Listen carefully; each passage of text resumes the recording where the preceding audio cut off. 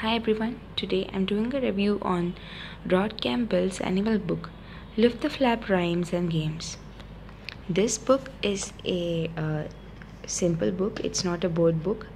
Uh, the cover page is made out of thick cardstock, and the inside pages are just a thicker variety of paper. So they can tear easily, they can fold easily. So you just have to be careful when you give this to your toddler and uh, the flaps inside the book are also made out of simple paper. They are not even the thick paper they're simple paper.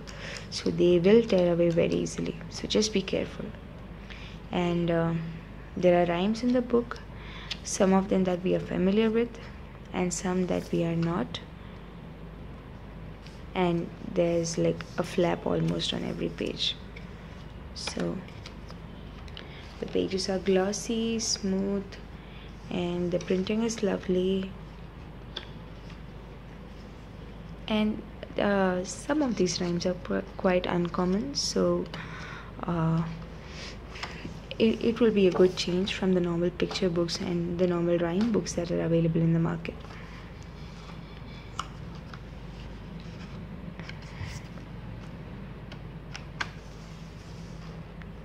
And uh, there were three pretty parrots in a tree. So you lift the flap and you see one two three and a funny chimpanzee. And it's just simple rhyming words. And uh, and uh,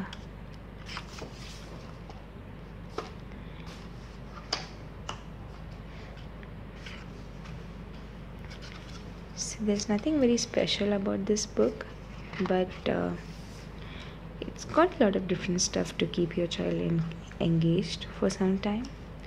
And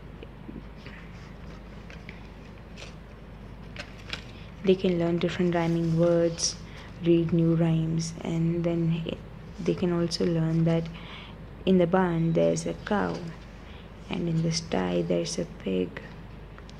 So who lives in a stable? A horse in a hen house a hen and where's the farm dog? He lives in his kennel and he's asleep. Then nesting box. So your children can learn that you know birds like to live in such boxes.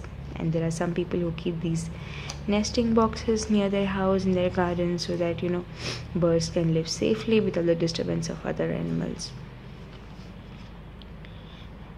and cat and dogs can't get to it. So uh, baby birds are safe. Then where's the kitty? So you can like lift the flap find out where the kitty is and how the kitty is chasing around. And this is Mary had a little lamb. Then here. We have Naughty Henry because he's chewing a toy. And hen and duck. So a duck has three ducklings. How many chicks does the hen have? So you count. One two three four.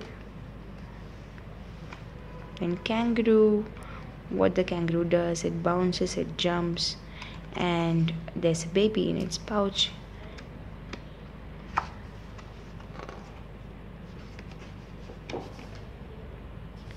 Then hungry lions and roar. So these are just words sounds that you can make and then make your child laugh and your child can imitate you as well. And that's it. That's the last page. And it says 450 here but i got this at a very good deal on amazon. It's really great to buy all these books on amazon. So well, thanks for watching. Hope this was helpful. Bye